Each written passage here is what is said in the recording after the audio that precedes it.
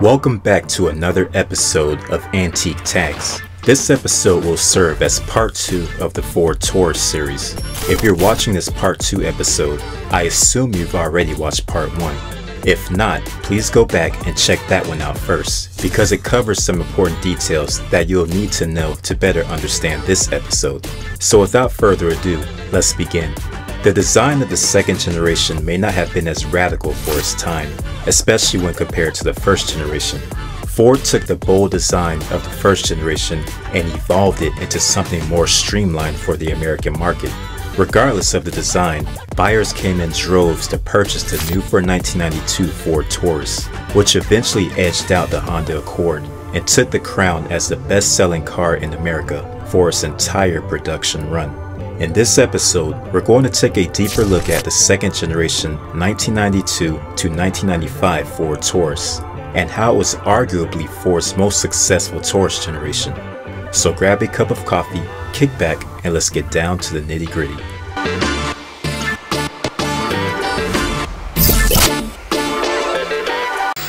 The first generation Ford Taurus went on sale in 1985 as a 1986 model riding on the Delta November 5 platform and eventually replacing the rear-wheel drive midsize LTD, which rode on an extended version of the Fox platform. Being available in four trim levels L, MT5, GL, and LX, the new for 1986 Taurus was a major departure from the typical offerings produced by Detroit at the time. A 2.5 liter HSC four cylinder was available on certain trim levels, which was good for 90 horsepower. The 3-liter Vulcan V6 was optional on lower trims and standard on higher trim levels, cranking out 140 horsepower. Ford's 3.8-liter Essex V6 would later augment the engine lineup, becoming the premium engine option. The Essex generated the same horsepower figures as the Vulcan, but yielded more torque. In almost an instant, the first generation Taurus became wildly successful, selling over 200,000 units within the 1986 model year. The 8th generation Lincoln Continental will also share its unibody chassis with the Ford Taurus and Mercury Sable, while getting its own unique exterior and interior design language and riding on a 3-inch longer wheelbase. As early as 1987, a second generation replacement was already in the initial stages. Other car manufacturers had taken notice of the success Ford had with its new for 1986 sedan. And of course, Ford wanted to keep its momentum going, as well as remain ahead of the competition. When the first generation Taurus went on sale, it poached many sales from contemporary midsize offerings of the domestic and foreign markets, forcing these rivals to make their midsize sedans even more competitive. With all that being said, in order for the Taurus to remain a sales leader, it was imperative for it to remain ahead of the pack, so the design work on a successor had gotten underway. 1988, the final design for the second generation Taurus was submitted and approved. If you watched part 1 of our Ford Taurus episode, you can recall us mentioning Jack Telnack, Jack Telnack at the time was the global vice president of design of the Ford Motor Company. He had his hands in the design process of the Fox body Mustang, not to mention the first generation Taurus. The 8th generation Continental that we mentioned earlier was also overseen by Telnack. These were just a few models he was responsible for. Jack Telnack, accompanied by his team, would be responsible for the design process of the second generation Taurus as well, which was a good thing. The first gen Taurus sold itself based solely on its design, and Ford was looking to recapture this success with this new second generation model. The idea for this second generation Taurus was for it to retain most of its overall design language while being completely new. So in other words, although it would be a redesigned sedan, it wouldn't be mistaken for anything but a Taurus. Ford wanted this new model's design to be evolutionary, not revolutionary. Since Telnack's first iteration of the Taurus proved to be a hit, Ford didn't want to alienate its prospective buyers by offering a radically different design for the second generation model. Along with the new design, it will offer new and improved features, in an attempt to not only outclass the rival brands, but to also remain the sales leader it had become in an increasingly competitive midsize segment. During this same year, 1988, the redesign for the Mercury counterpart was in the works as well. This new second generation Sable will also retain the overall design language of its predecessor and share its mechanical parts with the Taurus. The redesigned sedans were planned to enter production in the early part of the following decade. By the following year, 1989, the millionth first generation Taurus was sold. This was also the same model year that brought out the Taurus SHO, the performance sedan that sported the Yamaha built V6 paired with a Mazda designed manual gearbox. The SHO was well received amongst the general public and proved successful. Therefore, plans of a second generation had got the green light for this model as well. 1991. This marked the final model year of the first generation Taurus and Sable. 1991 also spelled the end of the wimpy 90 horsepower 2.5 liter four cylinder, which was dropped from the lineup. The MT5 sedan was aimed at Japanese imports. However, that particular trim proved to be slow selling, so it was dropped back in 1988. So, the Taurus line continued to offer the L, GL, and LX trim levels. In the month of July, production of the first generation Taurus had ceased in preparation of the upcoming second generation model. The first generation Taurus proved to be a major success, and by the time production ended in July of 91, over 2 million units had been sold. Atlanta Assembly and Chicago Assembly had shifted production and scheduled the new second generation cars to begin assembly in August. 1992. This marked the first model year for the second generation Ford Taurus and Mercury Sable. The cars went on sale in fall 1991 for the 1992 model year. On the outside, the newly redesigned second generation Taurus grew in length over its predecessor by a few inches. Continuing the use of the Delta November 5 platform, the redesign tacked on a few hundred extra pounds, However, the new car compensated itself with improved aerodynamics. With the exception of the doors, all of the exterior body panels were significantly revamped. Up front, the fascia kept its bottom breather grille opening that was previously incorporated into the design of the first generation model. The headlamps had a similar arrangement as the previous generation, although this time around they were much slimmer. Overall, this new front end was more aerodynamically efficient than the outgoing Taurus. Looking at the rear end, we will notice newly designed tail lamps, although they look very much like the ones on the first generation model. Despite the similar appearance, the entire rear clip was fresh for the 1992 model year. On the inside, the interior was mostly all new. We'll get to that mostly part in a bit. Much of the layout was just like that of the first generation, being user-friendly, and having everything laid out within reach of the driver. We mentioned in part 1 of this video how the first generation implemented controls that were designed to be recognized by touch and for the driver to use them without taking his or her eyes off the road. The second generation was no different. With safety being a priority, it offered the same type of controls that were designed to be similar to Braille Speaking of safety, the redesigned dash also incorporated a passenger side airbag, which at the time was unusual for cars of this class to have. The airbag was optional in early models and became standard in 1993, making the Taurus the first car of its kind to have dual front airbags. The newly redesigned Taurus didn't have an interior that was as configurable as a first generation model, a lot of features that had been available for the previous generation Taurus had gotten the axe by 1992. For instance, the new generation had only one seat design, regardless of trim level. The previous generation, on the other hand, the LX, sported its very own exclusive seat design. The two configurations were a front bench seat and a column shifter, or front bucket seats and a center console with a floor shifter. Speaking of the console, that was actually a carryover from the first generation. However, it would eventually be redesigned for the following 1993 model year. The radio was redesigned, However, the rest of the lower dash was also carried over from the prior generation. This was also the case with the steering wheel, another component from the first generation. These components that were carried over is the reason we mentioned the interior being mostly redesigned. However, to the typical buyer, this was mostly unnoticed. A Sable-only feature for 1992 was the strip of wood grain dash trim on non-passenger airbag equipped models. The wood grain dash was ditched for the 1993 model year once a passenger side airbag was made standard across the board. With this new generation, the familiar trim levels returned to the lineup. The base model L, the mid-range GL, and the highest trim level, the LX.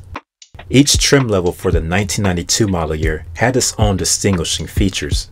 For instance, the L model sported light gray plastic mirrors and window trim, and the bumpers and side trim were light gray in color as well. The GL came with chrome window trim and body color mirrors. However, it kept the gray bumpers and side trim. The LX had body colored bumpers and also sported body colored side cladding. For the 1992 model year, L and GL trim levels could also be specced with a two-tone paint job. So rather than being gray in color, the bumpers and side trim could be painted a slightly darker shade of the car's body color as an option. This option was also available for the Sable GS models, but in an attempt to reduce costs, all of this went away for the 1993 model year, and all second generation models got color matched trim and bumpers for the rest of its production. The L trim level itself also went away after the 1992 model year due to lagging sales. This ultimately positioned the GL as the base model. All in all, much of the exterior resembled that of the first generation. Because of this, many prospective buyers were convinced the new Taurus was merely a facelift of the first generation and not a thorough redesign. Despite these false beliefs, the second generation Taurus was well received just as much, if not more, than its first iteration. As we mentioned earlier, Ford didn't want to alienate any of its prospective buyers. Thus, it carefully redesigned its popular midsize sedan.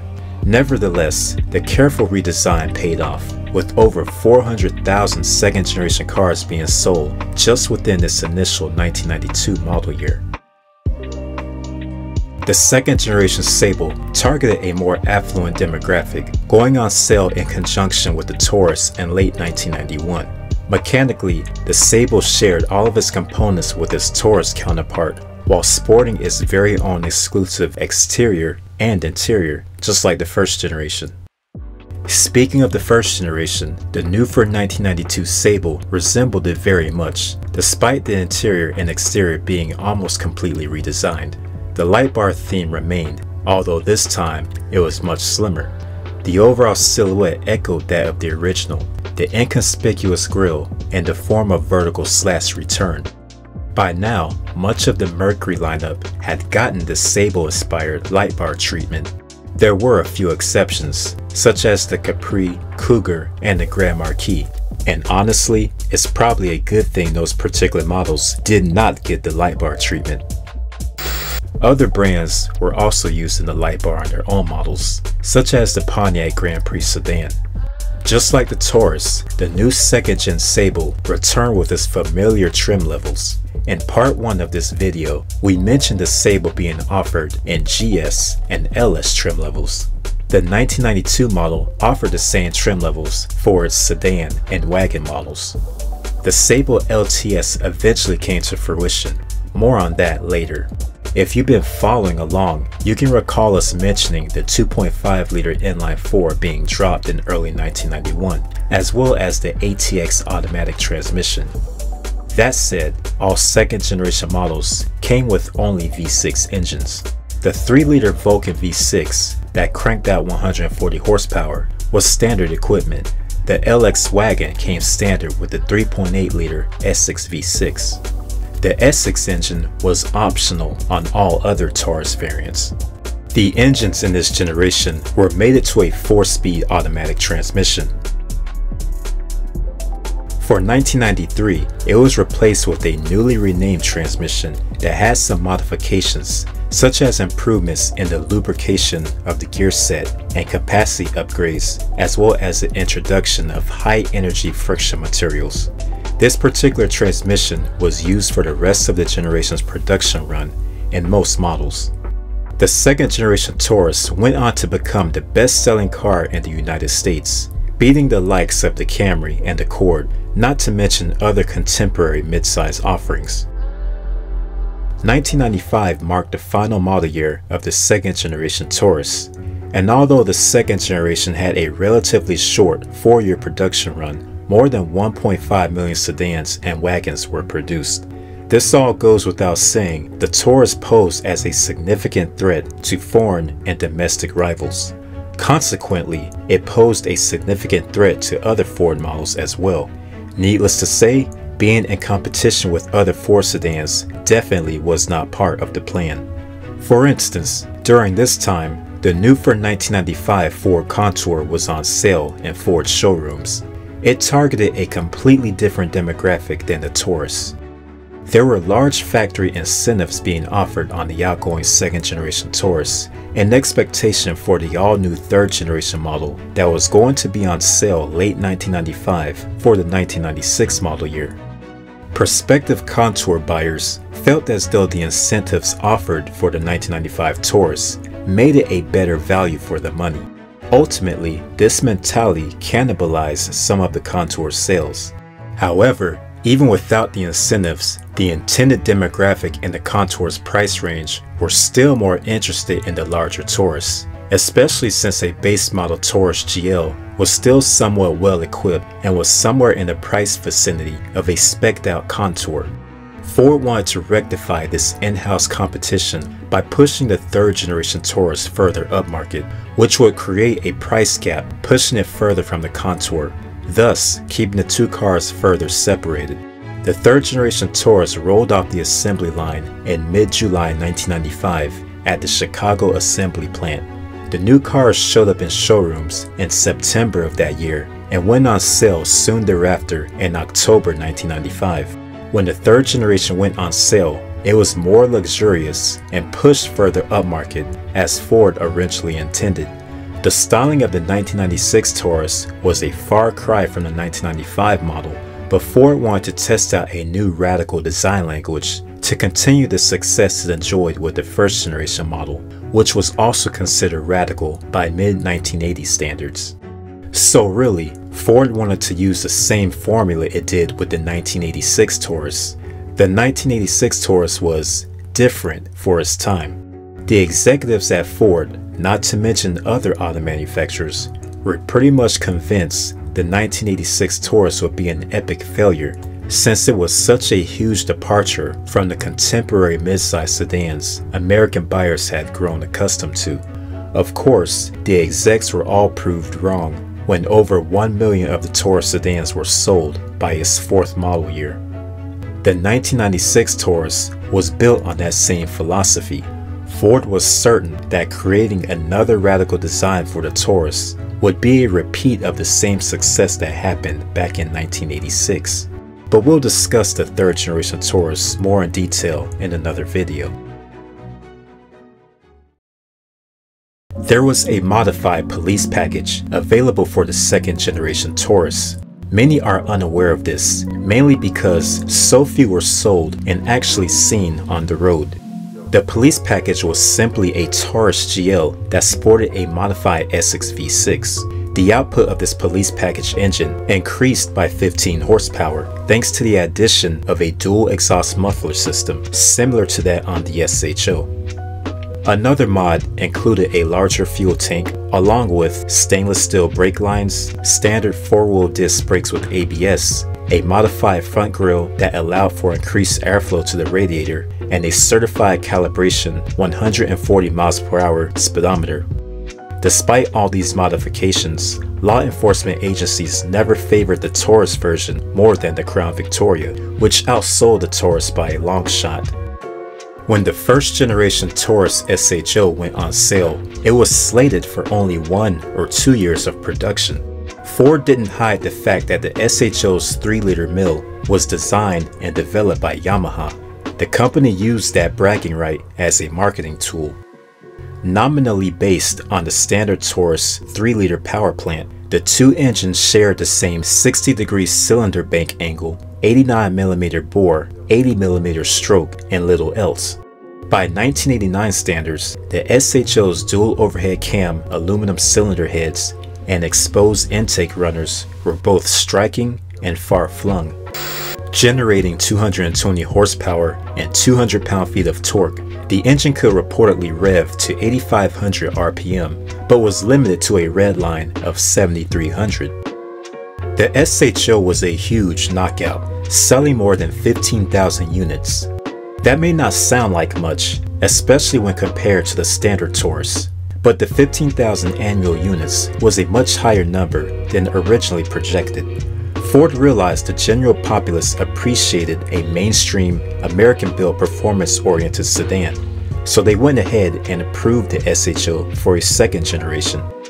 The second generation Taurus SHO went on sale in late 1991, alongside the standard Taurus. It continued with the same powertrain from the previous model. However, this time around, the SHO was more clean cut without the aggressive body cladding of the previous generation.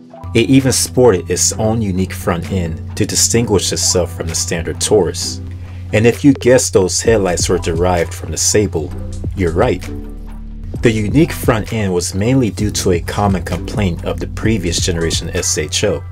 Customers griped that although the SHO had a unique powertrain, it was still almost visually identical to the standard Taurus sedan. Up front, the new second generation car wouldn't be mistaken for anything other than an SHO.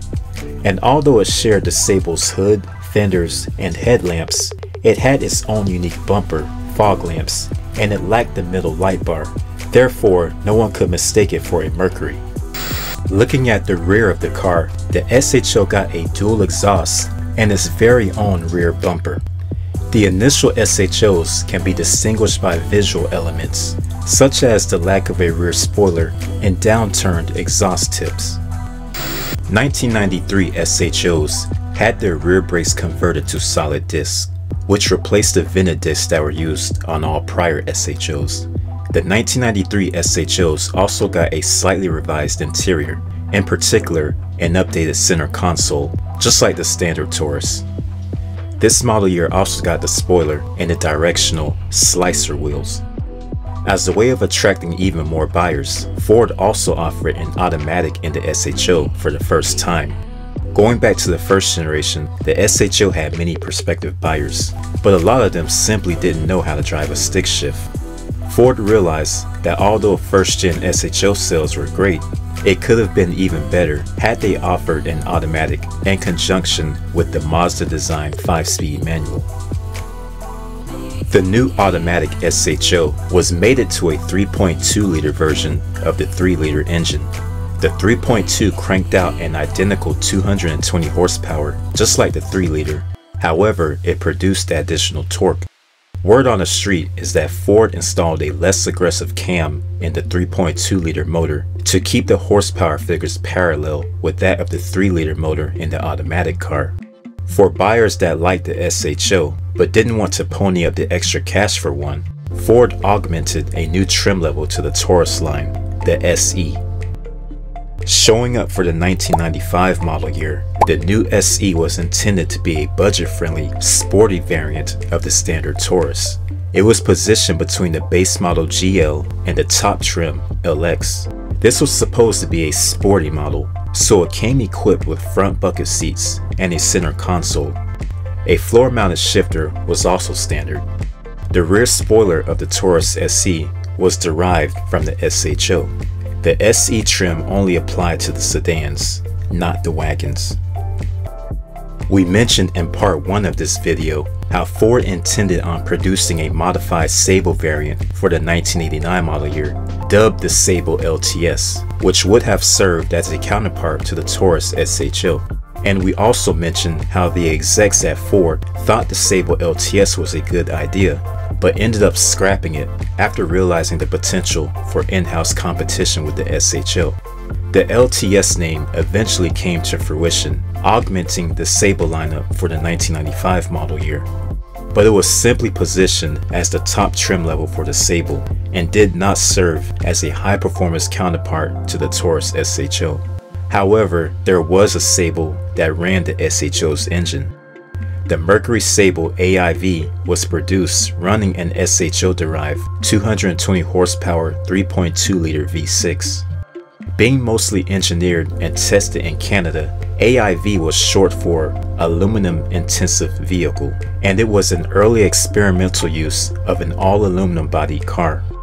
Aluminum parts were not uncommon on cars in the early 90s, but they were used primarily in the engine, for the wheels, or for air conditioning components.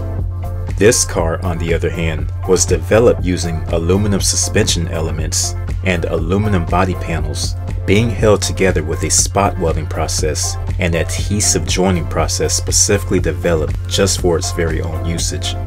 Because of these lighter materials, the Sable AIV had a huge drop in weight, making it more efficient than a standard Sable or Taurus for that matter.